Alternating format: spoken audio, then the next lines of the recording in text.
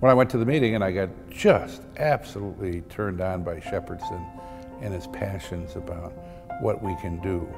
And I thought it was, if they want to tear this sumbitch down, they're going to tear it down. And uh, we're not going to be able to fight them, but I'm in.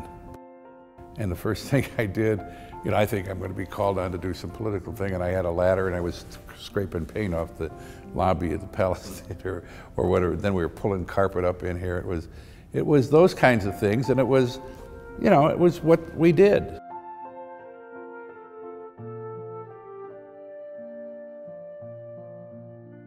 We got our money committed by Governor Gilligan, and I wanted some planning money, anything. Give me some cash. I need to get cash. And the election came, and he lost his election.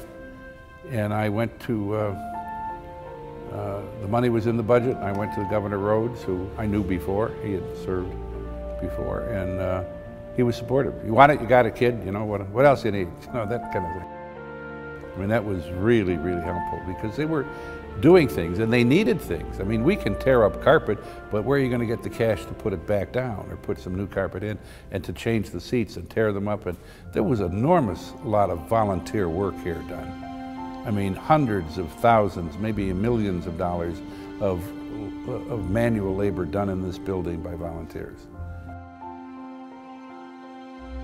Maybe I saw in Ray's eyes that, you know, this would be really ugly if it didn't get restored.